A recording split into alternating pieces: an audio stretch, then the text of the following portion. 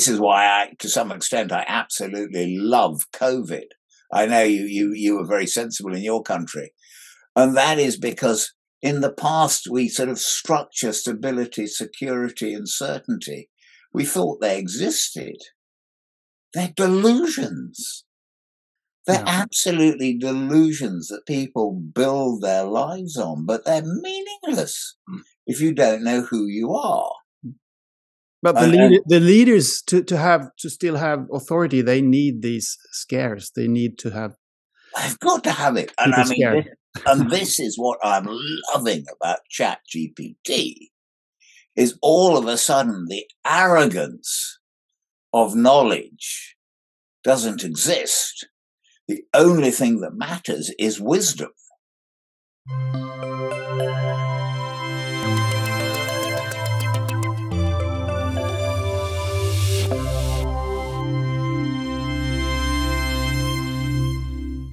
Welcome all. This is Mind the Shift, and I am Anders. I guess I have a pretty mainstream, gray, uh, boring kind of middle class background, including education. Hopefully, that doesn't mean that me as a person, I as a person, um, have to be boring and, and gray.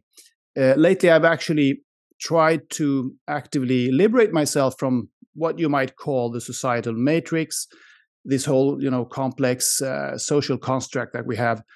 And also the ways in which this matrix forms and affects us interests me very much. My guest today is a person who has been actively freeing himself of these structures his whole life more or less i would say. Uh, welcome to the show anthony willoughby. Thank you so much anders. Thank you. Wonderful to have you here. You held a TED talk a few years ago, uh, just to give a little background to the uh, listeners and viewers here of, of who you are. And uh, in that TED talk, you begin you begin that TED talk by by uh, saying with emphasis, almost enthusiasm. I want to make it clear that there is absolutely no academic background whatsoever to what I'm talking about. That's kind of unusual and interesting.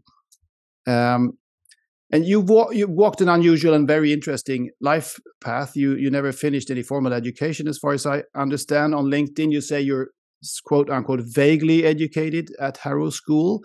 On the other hand, you've taken decades of life courses, you might say, uh, in the form of, of travels all over the planet.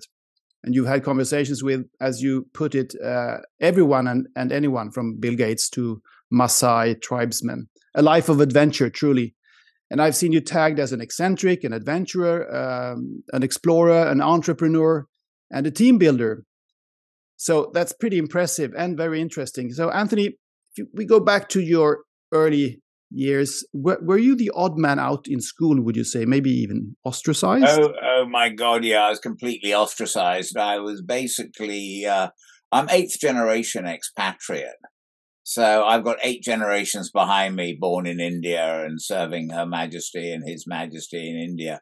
My father even tells me at the age of five, he was saluting a mug of King George because he knew his duty in life was to serve the king and country. So, uh, you know, I was brought up, I think, sort of the last generation of a concept of duty. Um, but I was brought up in the Sudan uh, and in Egypt and sort of keeping spec pet scorpions and taking paddle steamers down the Nile. And I remember being in game parks with uh, in East Africa, my mother sort of shaking things out the window because we were being charged by a rhino, and she thought if she shook Pepper out of the window, the rhino would go away. And wow. you know, that sort of you know that was my sort of life. And then within a week almost, I was at a school in England where they were saying, I haven't done your hospital bed corner yet, you know, and I just couldn't really understand what, what this complete lack of enthusiasm was. And I sort of went through 10 years of it. I mean, I haven't literally not kept up with a single person I was at school because as soon as I got to the school, I said, you know, I started speaking a bit of Arabic and I was instantly known as well, you must be the wog then, you know, and, and one was literally ostracized from day one at school. And I was, you know, really, I, I think I was a privilege to be uh, ostracized. And why, know, why is that? Why, it's an odd, odd thing to say that you're privileged to be ostracized. Because I don't think one wants to be a part of the mainstream. I mean, I think the whole thing of education, I mean, it hasn't changed in hundreds of years. It's designed to train people to work in factories or, or go to the trenches. I mean, you know, any sort of creativity has basically been dumbed out of education. I mean, mm. you know, Ken Robinson talks about it. The brain is completely damaged by it. It removes one's creativity. You just watch kids lose it. And, you know, and in those days, I mean, when I was at school in England, enthusiasm was an incertifiable mental disorder. you know, Terrible. Yeah, and I was always enthusiastic. I was so unpopular. I sort of wanted to try and do things. So I sort of went to Spain and became a bullfighter for a few days in the summer and went to a ranch of El Duque de Pino Hermoso and sort of fought bulls and stuff like that. And, oh, tell us about that. How did that go, the bullfighting? Uh, not very well. I sort of knocked over uh, a few times and decided that they had some, not they were small bulls, but they had nasty horns. So I thought this is probably a bit beyond it. But no. uh, now, I think the my luckiest moment at school was when my housemaster decided, let's talk about your future. And he said, Anthony, let's get one thing absolutely clear. You are far, far, far too stupid to go to university. I can remember that moment of freedom. Mm. You know, I've no longer got to endure these ridiculous rituals yeah. that I saw no purpose in. So I, I got an exchange uh, to a school in America, and that's when I started hitchhiking. Uh, and I've hitched about 40,000 miles, probably about 15,000 miles in the States. I hitched by private aircraft. I hitched all over the place. And it just showed me that one has that sense of freedom. Mm-hmm. And it just opened my eyes. And it was a, sort of frightening to begin with. But then I realized that with a smile, one thumb out, and a positive attitude, there is no way you can't go. So sorry, that's rather a long answer to your. Uh, no, no, no, no, no, no. It's it's wonderful. I mean, speaking, we, we, will definitely come back to that. Yeah. Pro- the problems with education and all that. I want to talk talk about that, but uh, uh, continuing with your travels, your journeys that you've made during your whole life here. You you mentioned this um, hitchhiking in the United States, and I understand you went you later went to Japan, and since the 1970s you have crisscrossed uh, parts of the world that many would yeah would consider remote and inhospitable. I and you stayed with nomadic tribes in Papua New Guinea, yeah. East Africa, Mongolia, yeah, yeah, for example, and you yeah. I mean, I can give you ways examples. I mean, I, I got back from America to England in 1971 uh, and I just thought I've got to get out of here. Um, so I got a small small stall on a, on the Bayswater Road in London, Hyde Park, selling bamboo hair slides, and I saved up a thousand pounds. And uh, I just bought a one way ticket on the Trans Siberian Express. okay. And, you know, I remember being in Paris, you know, le train pour Moscou va partir en trois minutes. And, you know, the idea that in three minutes one's life is going to change and I think one's got to sort of have that sense of adventure is still with me, an opportunity that, you know, actually heading off on that train 17 days later, you know, arriving by boat in Yokohama. Yeah. Uh, knowing nobody with a friend who left shortly afterwards. But it was just that sense of, of absolutely loving the uncertainty of what, what is going to be. I, I thought everybody spoke English. I had a copy of the London Yellow Pages because I thought I could put Yellow Pages from London to Yellow Pages in Tokyo. My fortune would be guaranteed. Um, so I, I just sort of love that sense of complete naivety yeah. Did you learn? Did you learn Jap- Japanese? You were forced to learn Japanese. Not as well as I should do. I mean, I lived there for thirty years. I speak it well enough, but uh, thirty years. Yeah, I lived in oh. Japan. I based myself in Japan for thirty years. Okay. And that's from there when I started going off on different journeys. Yeah. Uh, to the Yemen, to and then to East Africa. When I started talking, meeting the Maasai, and that's when I saw for the first time in my life I saw people who had substance without arrogance. And I realized my entire education had been how could I be massively arrogant with no substance? Mm. And I became fascinated to try to understand Why aren't we taught presence? Why aren't we taught identity? Why aren't we taught who we are? And that's when I became fascinated to see how indigenous communities teach respect, responsibility, and courage from the age of three. And they value wisdom. And those core values go through their life, but their authority, accountability, uh, uh, responsibility, accountability, and authority, they change through their lives. But the core values stay the same, which are what are taught. Mm. And, and, you learn you learn these things mainly in nomadic tribes, as far as I understand, or well, I'm also in Papua New Guinea. So basically, I mean, that's where the hunter gatherers were. So I'd been in Kenya and I'd met the Maasai and they were talking about, you know, respect, responsibility, and courage and things like that. And I became fascinated when I got back to Tokyo. I thought, well, what have we lost? I mean, what else have we lost? So I decided I'd go to Papua New Guinea. And back in 1980, it was still pretty wild in Papua New Guinea. So they said, uh, well, uh, you know, I met the ambassador and he said, well, why don't you go to my village? So I said, yeah, fine, I'll go to my, his village. And it was a long, long way from anywhere, shall we say. And they're all living in, in huts, etc. And they still had lots of feathers and uh, spears and uh, and all of and big axes and stuff like that. And uh, I sort of asked, I said, so why do you have so many feathers? And they just said, well, you know, um, a big man has many feathers, but a bigger man can hand out his feathers. Oh, that's nice. That's beautiful. You know, and I, I just, just very, very brief. I, I, was, I was going to show a photograph of me in Papua New Guinea, but what I saw is that, you know, and I thought of all those people in Tokyo who thought knowledge was power. They thought, you know, their authority was if they ordered people around, that was power. Mm. But I learned that in Papua New Guinea, you never talk about power. You either got it or you haven't, in which case everybody knows. But the main thing is how do you contribute? So you also, you've got the spear. I said, so what's the spear? They said, well, you have to earn the spear. You can't buy it. You can't sell it. You can't give it away. You have to accept the responsibility that comes with the spear. And again, I thought of all of those businessmen in Tokyo, especially the foreigners there, who had director on their name card. But they'd never actually earned anybody's respect. And I remember asking the ambassador, I said, So what is influence?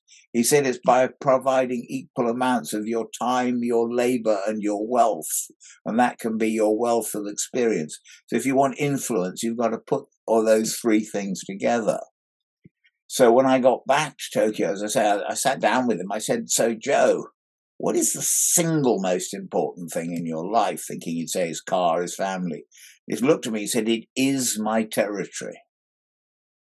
So I said, Well, that's fascinating. So he then drew out on a napkin.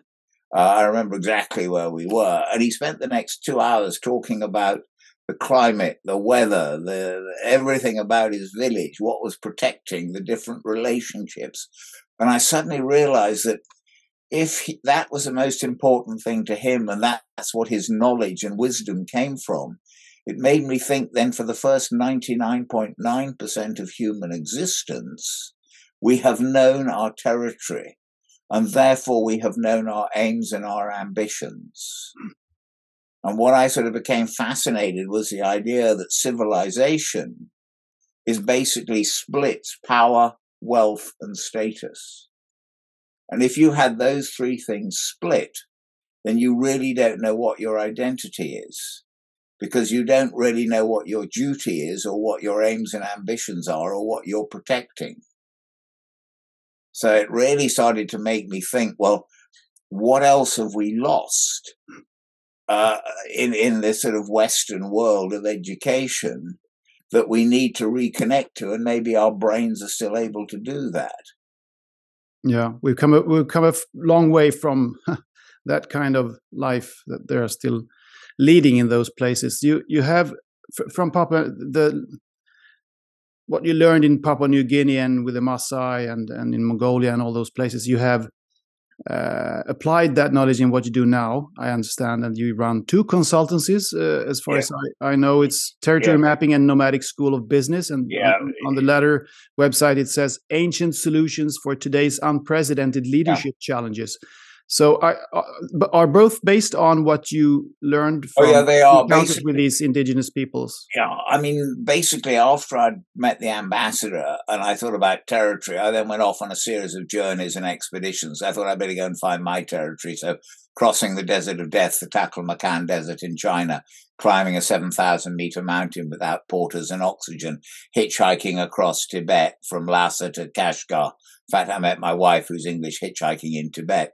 So I went off on these different journeys. I then opened the first outdoor team building center because I thought all people needed was trust and willpower.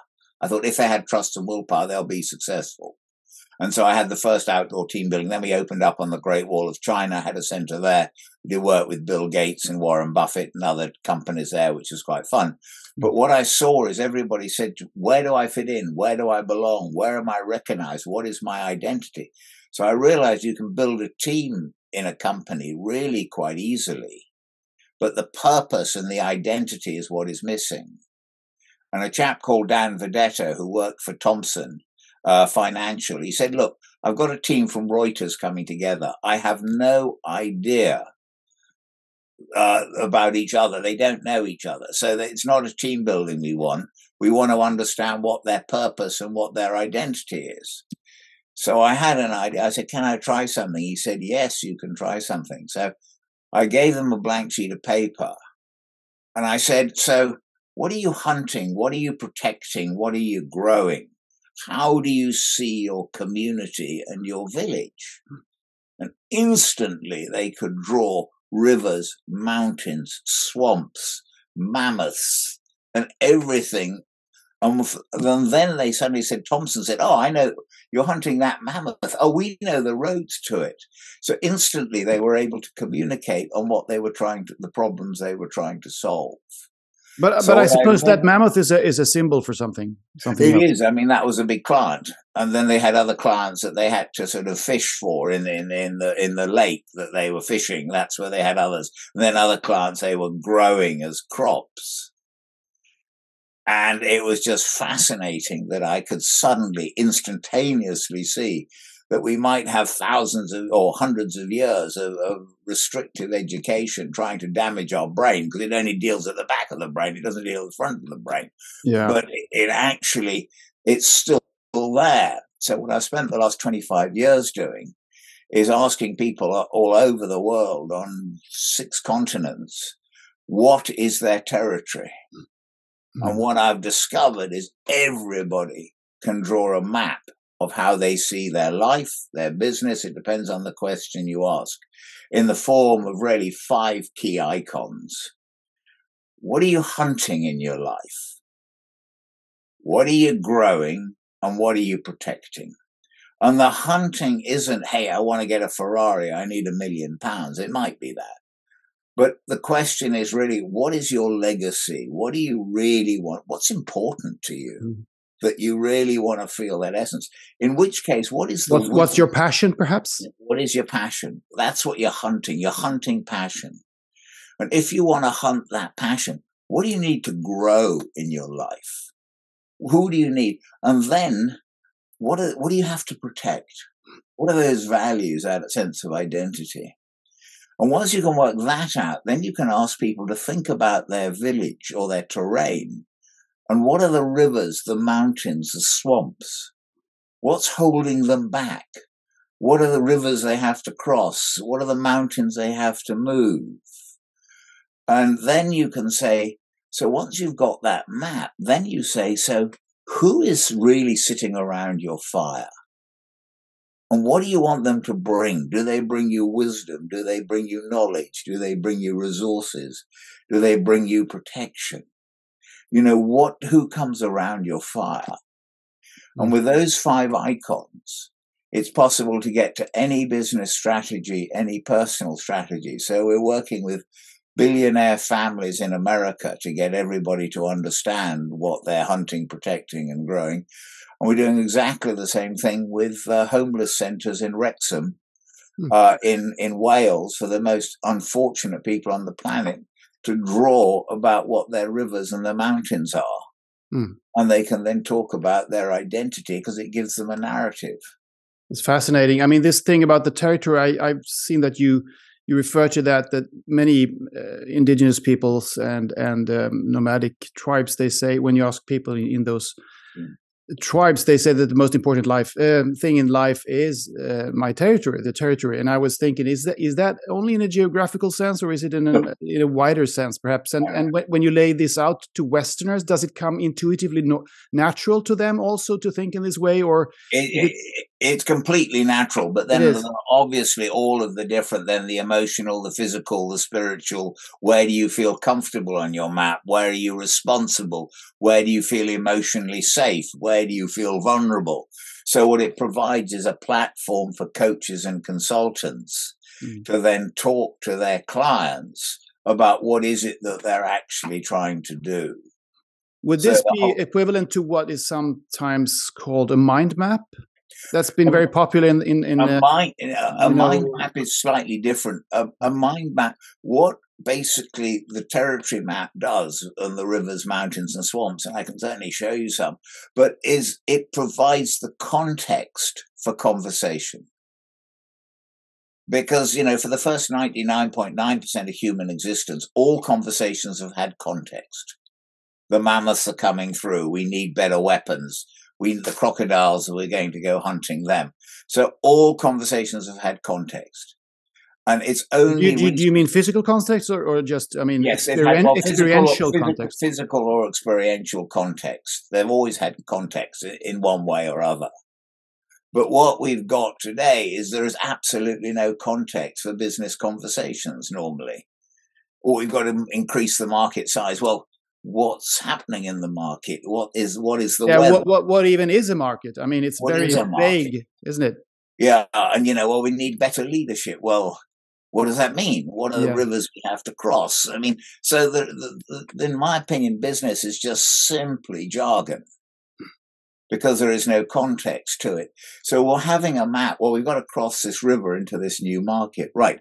Who's going to build the river? Then we can say let's have a mind map of how we're going to cross the river. What are the resources we need? What are the people? And that's when you can start using a mind map. And I had a really good conversation with uh, Tony Buzan a few years ago before he died, in fact, about 20 years ago, on how we could work together with the territory map providing the context and the mind map then providing the uh, the platform, you know, the the the the, the, the, the, the things that needed to be done. I understand. Yeah. What what else? I mean, this thing about the territory, knowing your territory, is obviously a very a very wise thing and and a, a good thing to learn from these indigenous peoples. What else have they understood, or do they still understand that we have forgotten or don't understand? And so, I mean, for instance, what is a nomadic nomadic mindset to you? Well, it is that glory. I mean, I don't know whether you spent time with with nomads. It is just this glorious sense of being able to welcome people on their territory. You know, their doors are open. You can come straight in. They will look after you, and you've just got this glorious sense of of absolute confidence. I mean, what I really like about them is, you know, I was talking about power, wealth, and status being split by civilization what I love about nomads is they have the power of their personality. You know, they're big personalities. They're, they're, they're sort of there. They, they know who they are.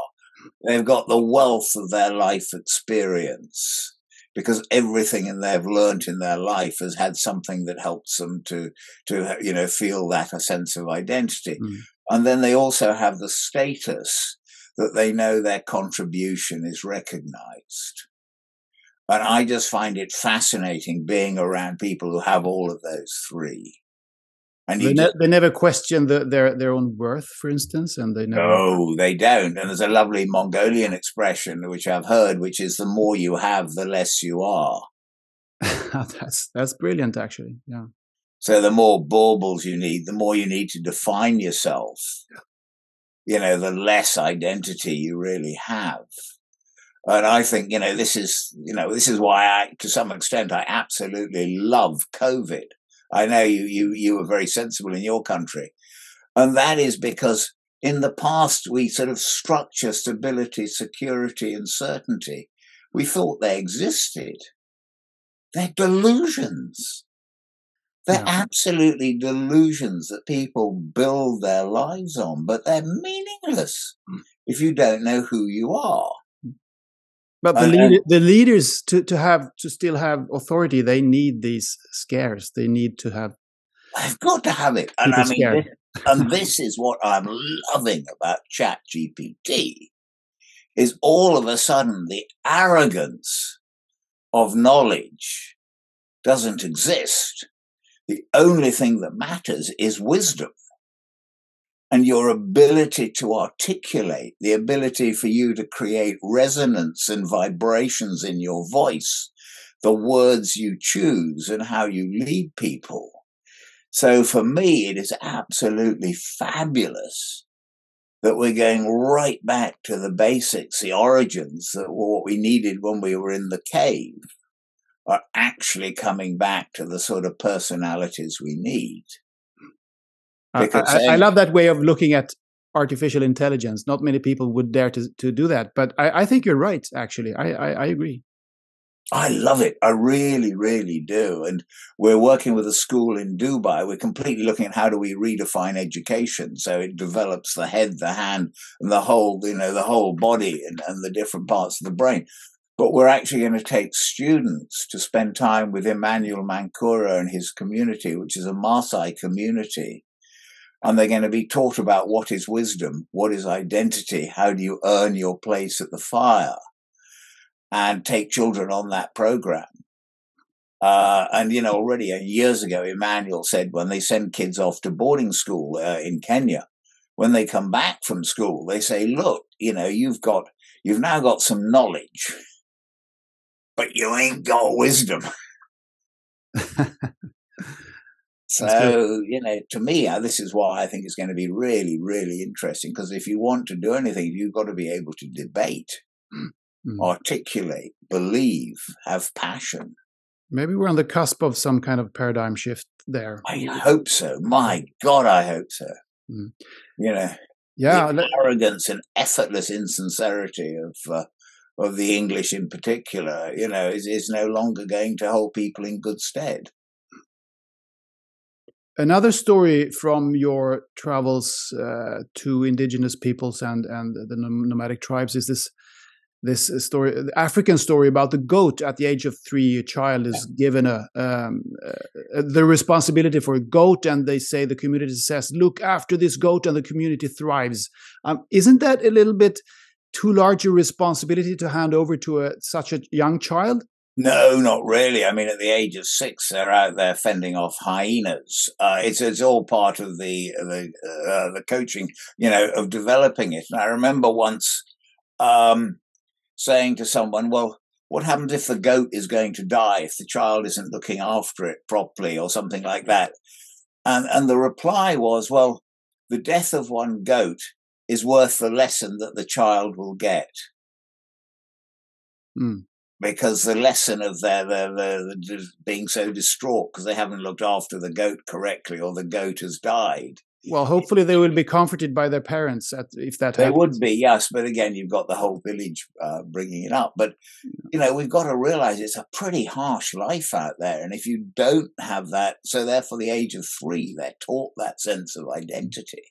Well, that, yeah, it's and it's. I love this this uh, sense of. I mean, to take to be able to take care of some something. I mean life another life uh, at that age. And I, I, think you're right that we can actually do that pretty early. But is this in some way how, how do we apply this on western life? Because i mean not many people here have uh, any connotations around taking care of a goat you know but how can we make this story have it make sense for a westerner to to learn something from it I mean, I think it's difficult. It's just how I've educated my own children. I mean, from the age of eight, they've been sleeping in mud huts with me in Africa. But I mean, I stress I'm not an anthropologist. I'm not an adventurer. I've just been curious about life. So if I'm sort of, I want to go and find something out, I normally ring someone up and talk to them. And, you know, or I'll go and spend time in Africa and just wander off and talk to people. But from the age of eight, my children have just been turning up in mud huts in villages in Africa and sleeping in the villages and feeling that sense of welcome. And when they got to 16, I sent them to live with the Maasai for a week uh, with a friend so they actually can walk with warriors. Um, and I just did they balk and protest when they when no no no no no no no oh the stories you know how they suffocated the goat and drank the blood and uh, you know I mean it's all it's all part of you know it's part of being human it's part of being you know a young man my daughter when she was 14 I took her to 18,000 feet on uh, Kilimanjaro and before that she's climbed Mount Kenya so you know, I just think we've got to unleash courage in children. I mean, my father, when I said, How do I educate my children? He simply said, Make sure they play sports at which they can get seriously hurt. Hmm. You know, which horrify certain Westerners. But I mean, I think I probably do horrify Westerners. But, you know, but we've just got to, in my opinion, rethink uh, all of the, the way we where we've got to, and with GPT taking away the arrogance of uh, uh, of education to some extent and uh, documents, it's going to become really interesting. Hmm. Are we in the West complicating things a little bit too much? Oh, I think we love complication because that's what power is. That's why we all wear different white coats. That's why we give everybody a different title, a different responsibility, a different desk size you know, it's all it's all to to make people feel inadequate, insecure, and inferior. But then again, that's what the whole education is. Someone who can actually cut up a pig and, and serve it as a meal, you know, and kill an animal is sort of considered lower class to someone who's a lawyer who's got a bit of paper who can, in theory, talk differently. I mean, I think this is the uh, maybe there's more equality in uh, in Sweden. But uh, I mean, the, the other well, thing it's just it's a mar- marginal difference, I would say. Yeah, well, in, in, you know, elsewhere it's it's a huge difference, which is completely unfortunate. Um, and I think that is, you know, well, the other thing which I, I think is true is that all this idea of coaching, leadership training, and all the rest is so white and individual and, and sort of arrogant, whereas actually Africa, Asia is still community based. Mm. So they still have the ideas of community. And, you know, 80% of the world, apart from America and Europe, where most of this stuff comes out of, is, is actually communal base. So they understand these values, which is what we've sort of lost. And when we talk about the West, we really are talking you know, some, a, a, very small number of countries. Well, I have the impression that China, I, I, know very little about China, but I have the impression that China, which is a very large country, 1.3 billion people, yeah. is also not so much community based nowadays. It's fairly, I, yeah. what would you say? I would agree, but I think that's deliberate. That's one child per family, and now everybody's being, uh, you know, mm. uh, with TikTok, and everybody's being spied upon. It's yeah. it's, it's it's horrendous. Yeah, uh, but so it comes, it basically comes down very much to Africa and a few parts of Southeast Asia. No, I think I think it, most of Southeast Asia. I mean, basically, I've been going to China since '75, and I remember when people had the little red book, and I remember that, and there was definitely a greater sense of community.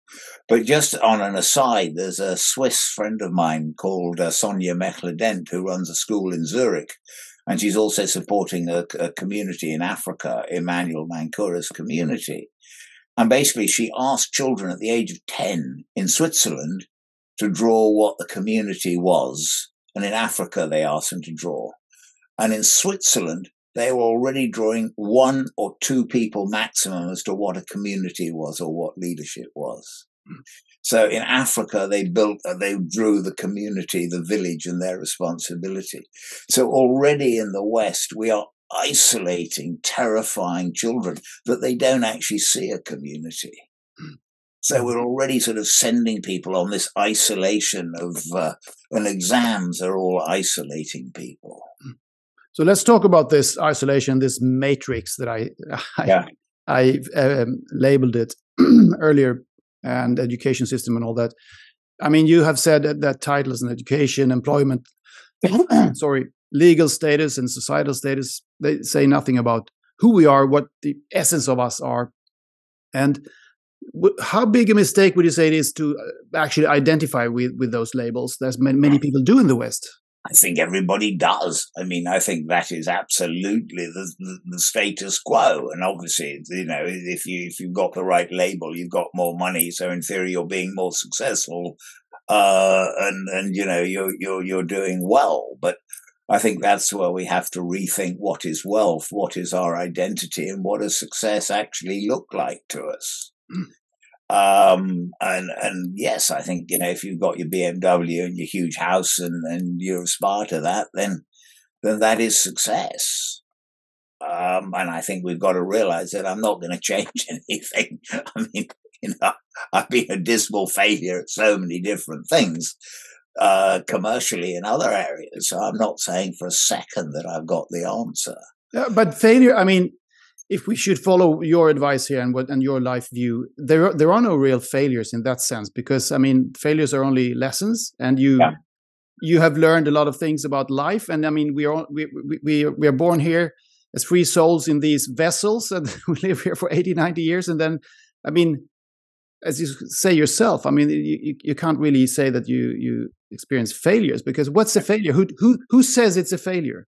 Well, just if I can just tell a little bit of the story on those lines. When I came back to England, having done my 30 years in Japan, I'd meet people and they'd say, Anthony, it's really fascinating what you're doing. We've got to have lunch. Here's my card. So I'd ring them up the next day, and it's happened twice in a matter of 10 days. And I said, so nice meeting you, Bill. When can we have lunch? They go, sorry, didn't you realize you are the most boring little man I've ever come across? How could I possibly be interested in your ideas for Africa? So I thought, God, they're English. They speak the same language, same background as myself. So I sat down with a mate. We thought, what do we have to do? So we decided to set up a thing called the Cock Up Club.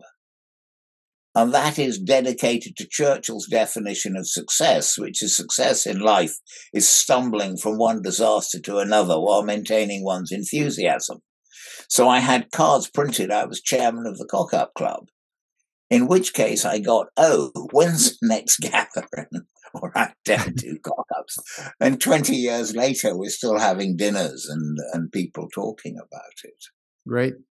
But there's another sort of philosophical thing that on one of my journeys across Papua New Guinea, uh, I'm not very good at planning or anything else, but I, I had a, the ambassador drawn a line about 200 kilometers across his country, across the spine of it. And so I saw there were villages. So I thought food won't be a problem. Uh, and probably we don't need tents. So anyway, we headed off with 24 bottles of wine, no food, into the jungles. And, and one person just complained every step of the way. And what I saw is how complainers completely and utterly undermine leadership. Yeah, they suck the energy out of everybody they else. Suck it out, and they're fundamentally cowards that is a fundamentally a, a complainer. So when I was invited to climb the 7,000 meter mountain in China, I decided to climb Africa's three 5,000 meter peaks, Kilimanjaro, Kenya, and Stanley. And I said, right, people said, can I come? Can I? I yeah, you come, you sign a document. I will not complain. And this is it. I will not complain. Here is my list of uh, of I will not complain document. I will not complain if I get eaten or trodden on by animals, if extra porters are employed to carry wine, if I discover I've got prima donna sentences, I can be sent home. Yeah. And I think really the most important thing the, the best affidavit you can you can sign actually. Yeah, one has to have an I will not complain philosophy. I mean it really is, you know, and you know, it's a bit like when COVID came, everybody was complaining and feeling emotional. I said, you know, the Mongolians have got a word for this. I mean, oh, what's that? Shit happens. yeah. I kind of recognize that. You know, shake yourself off, mm. get on with it. Well, I think, Forrest know, Gump had it too. exactly. So I think we can't complain. We've got to be responsible. And we've got to realize that our brains are still 100,000 years old or 200,000 years old. Nothing has changed. Mm. Actually, nowadays they say that we are the Homo sapiens is probably more like three hundred thousand years old, which exactly makes me realize that we've actually had civilizations before that have perished. But that's a different topic. But I'm kind that of is a fas- that. but that is a fascinating topic that it more is. and more and more is being written out about the flood, about the changes. Oh yes, and, oh yes. Oh there yeah, are, there yeah, are yeah. several hundred flood stories in all legends and all yes. myths around the world, and everybody talks about it. And it's yeah. fairly the same time frame, ten to twelve thousand years ago. Yep. Then exactly. some, something happened. Yep, and that's when the poles could have flipped. I mean, could have. I mean, there are so many theories about what happened. It's was it the sun? Was it comets? Was it asteroids? Was it you know? But something happened. That's that's for sure. Something happened about that time, and there was certainly. I mean, how on earth did they build those huge stones? exactly. And how did they do the pyramids? And then you look at the resonance and the vibrations that Tesla. Yeah, yeah, yeah. yeah. There was so much knowledge, and this they don't tell our children this in school. So let's go back to education, the education system. You mentioned several times already that it's flawed, but what, what is the basic, what is the main problem with the educational system in the Western world? I don't know, but I did ask ChatGPT about that the other day. Uh, I can tell you. What did she say? I will tell you exactly what she said. Uh, what is an education? Uh, one second. Um, well, basically, this is what aspects of humanity should education focus on? Rational thinking, creativity, language and communication, ethics and morality, socialization, self awareness, and self reflection. Um, and, and, you know, I think these are the sorts of things that we've just got to start teaching the head, hand, and heart. The the leadership essentials, personality, presentation, and, and just making people feel welcome into, into a community. How do we operate as a team? How do we help others feel uh, that they are valued? Mm. So, I mean, it's basically uh, been boiling boiling down to only the head. Then, I mean, in the educational system, you said head, heart, and hand, but it's just the head left, isn't it? It really is. It's just the head left, and it's just it's just not doing any good. And and I don't know how much you've been doing with Chat GPT, but I mean, it's been. I asked a few questions about ancient civilizations. Actually, it was kind of interesting to get these answers. I don't have them here, but no, kind of fascinating. But I think you know the the thing is that this is going to be available to every child and every student and everybody else. So we can't fight against it. The question is, how do we then embrace it and, and help them rethink what they're doing. Uh, on my work, uh, I'm working with a fascinating neurologist called Christine Johnson. And she has been talking about actually most of what we are learning is at the back of the brain. Whereas at the front of it is where you've got the vision, the passion, the biggest part of it. And this is, in theory, what we should be using to to really get people thinking, to be emotional, and, and, and then the whole concept of music, and then again the the hertz and the the resonance and the vibrations, and you know all of this to make people feel good. There's just so much stuff that I just think one could just make it so much more interesting and valuable, and and give people the opportunity to improve their decision making emotionally, rationally, and and physically. Hmm are the government, the judicial system, the uh, the economical system, the um, the health system, and all the security structures and other structures do are, are they laden with the same problems as the educational system?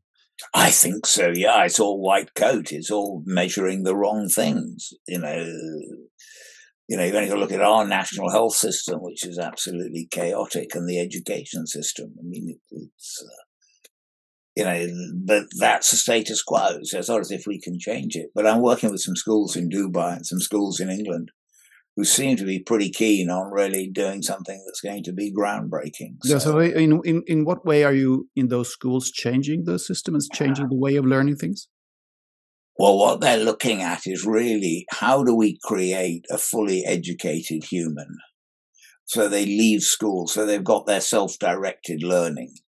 So they actually have a map of this is what they want to achieve as, at school. This is what they want to achieve in their lives. These are their values. And then they can refer back to this and then how they can help each other And we've started doing that reasonably successfully at a school in Scotland.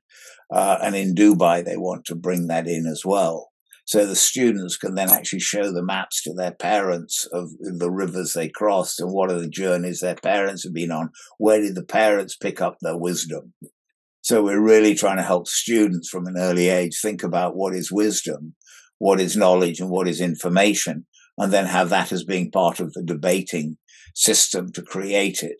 Now, I stress this is very, very early days that I'm working on it, but it does seem to be growing momentum. And I think the, the GPT has just completely blown away all of the restrictions or the, the fears that, uh, oh, we can't do anything because of the system. I think now people have got to realize that the system. Yeah, it sounds, sounds like a wonderful idea, actually. Maybe yeah. the time, time is right for that uh, right now. And I think there's some interest uh, out there, especially about among young, young people to see life in a different yeah. way than this material materialistic yeah. uh, way that we've been looking at it for yeah, re- redefining what is wealth we're talking with the american uh, billionaires about setting up a thing called the academy of full-hearted prosperity you know what what what do you feel when your heart is full? What does that mean? Is it your family your hopes your health your you know what what what does full-hearted really mean to you? Yeah that's a good question. And then uh, we're, mm, we're told a story here in, in the West, uh, or maybe in other places as well, perhaps in China and Japan. I don't know enough about those places, but a story that uh, that we have underlying human flaws which have to be they need to be kept in check by rules and regulations lest chaos ensues you you know this story yeah of is course this story a, a, a false story or is it a correct story it's probably a bit of both, isn't it? Really, um,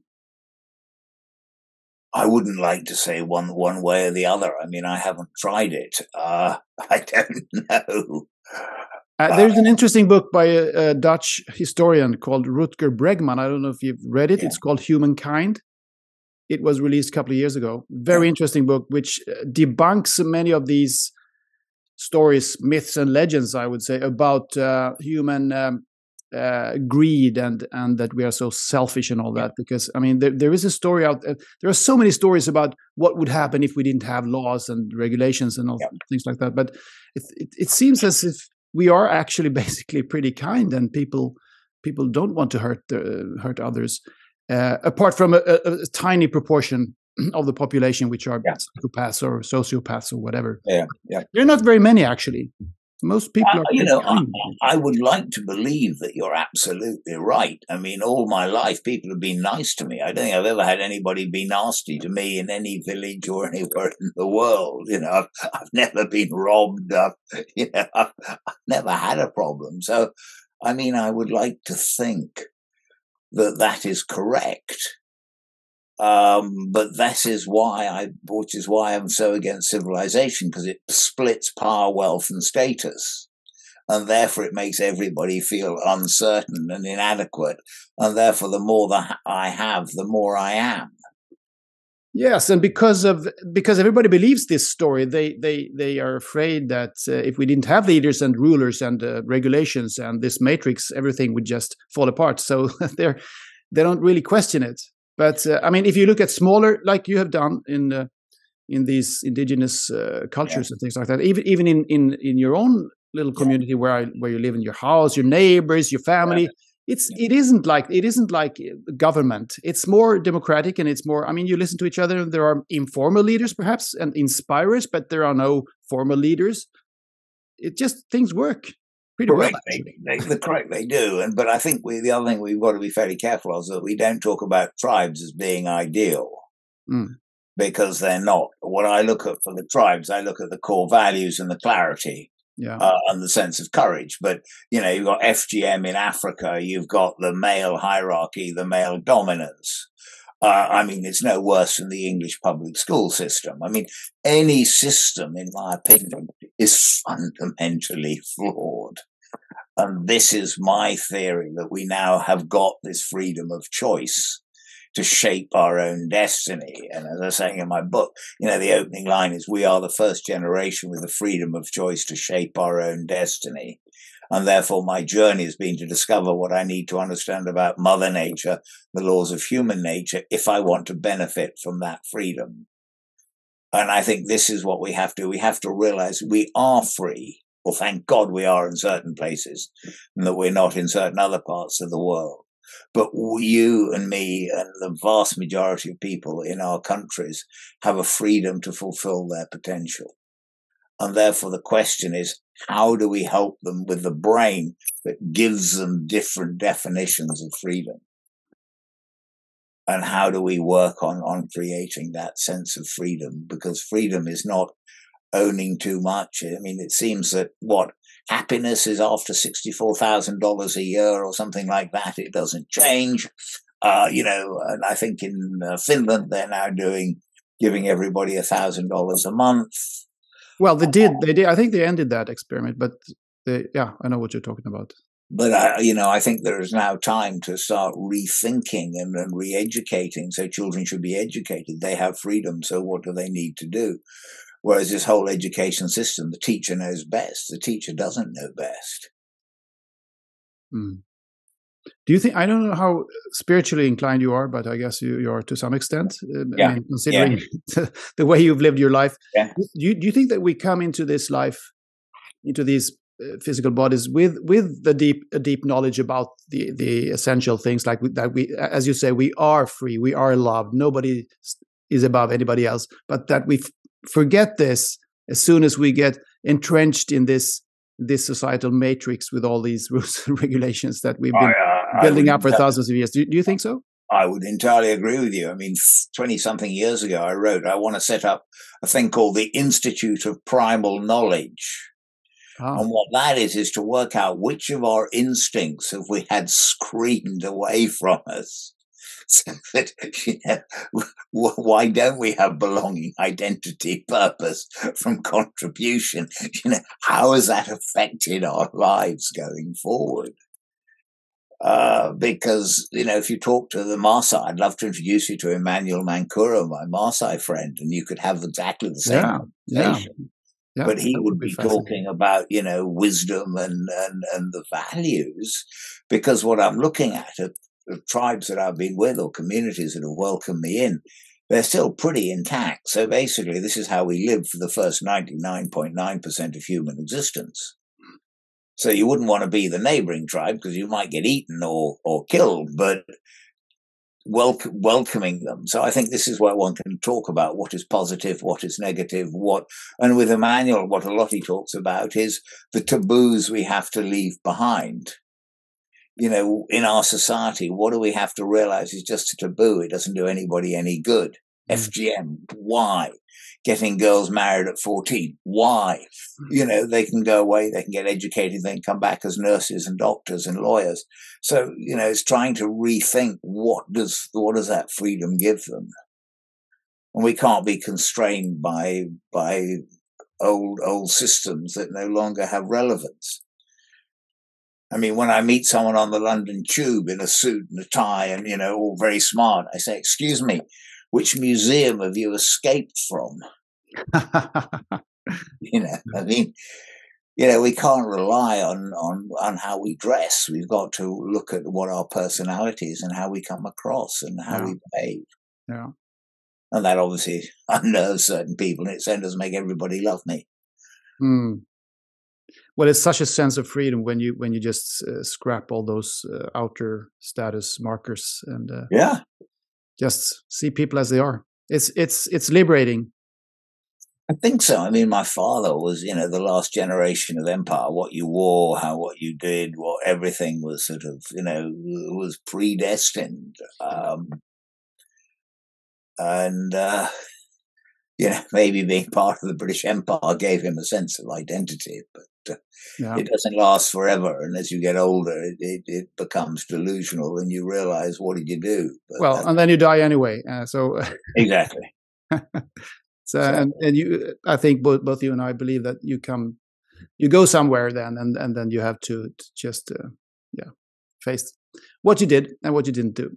Well, exactly. But surely you've come up with many of the similar ideas to this, haven't you, in your own life and how you, because clearly you're incredibly curious in everything Yeah, and I've been traveling a lot as well. Not not as not as boldly as you have, but uh, I've been to East Africa and I've been to Africa several times. Uh, yeah. Been to Latin America and not so much East Asia, but um, yeah, I love traveling. I love meeting people, and uh, as you say, I am curious, and and I I think it's it's uh, sad that we have uh, that we're so entrenched in this uh, uh, superficial kind of structure that we have built for ourselves. But I think things are changing actually, and I, I, want to ask you maybe to wrap this thing up to ask you about this because you, you as you have said here, and and one can read uh, on your on your websites and all that. You you uh, you will never complain. You showed you showed us the the affidavit there. Um, that's one of your mottos. You will never complain. So you're curious and you're constantly fascinated by the richness of this world, and you're optimistic yeah. and positive. But th- does this also uh, go for um, your view on on the world at large? Uh, many seem to think that we are in dire straits now. They think it's chaotic and all that where do you think we're headed? Do you see any positive signs, or do you see that it's? Oh, I think I, you know. I think apart from Putin and a few other things, I think it's totally positive. I mean, I really, really do. I mean, you know, there are billions of people and running around, and basically, you know, you go to India and you know, and they're in theory all poor, but you feel that sense of vitality and life and energy, and uh, you know, you just I'm incredibly positive. Yes, you know, I mean, things change, life goes on, and we adapt. And if we don't adapt, then we don't evolve. Then yeah. you know, we can spend our lives complaining about stuff we can do nothing about. Uh, you know, in England, we're talking about, you know, how can we help the coat, uh, you know, the footprint? I mean, England is only 2%. You know, I mean, what can we really do? Is it really worth our while spending years worrying about it and, and, and all the rest? Let's just get on with it, mm. adapt, change, and uh, and try to make a difference in whatever we can influence. Yeah.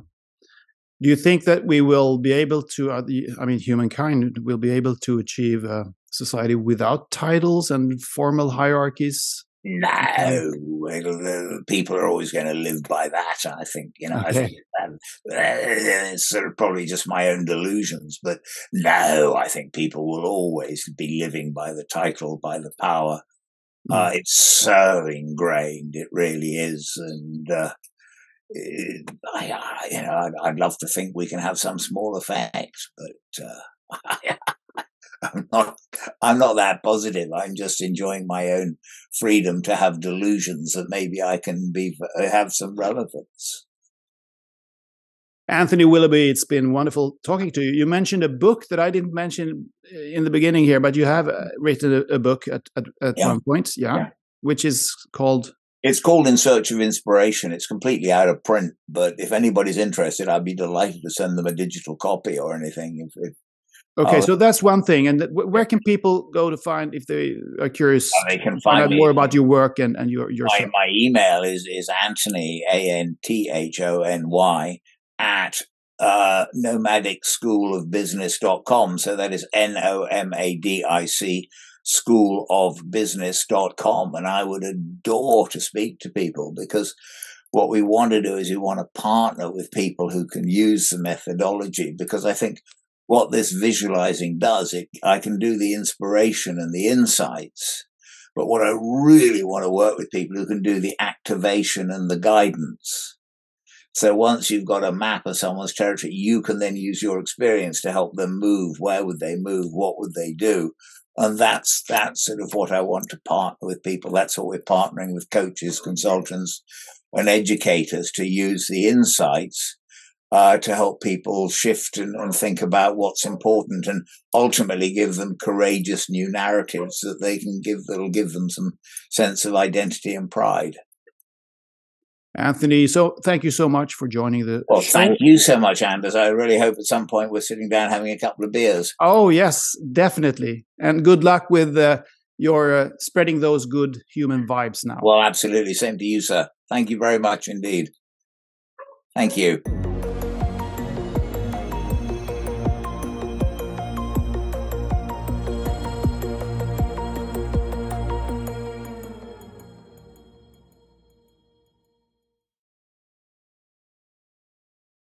If you like this video and other interviews and talks and stories on Mind the Shift, please like, share, and subscribe.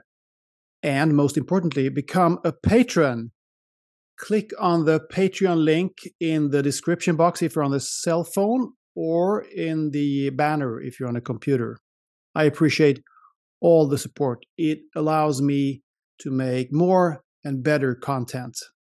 Thank you.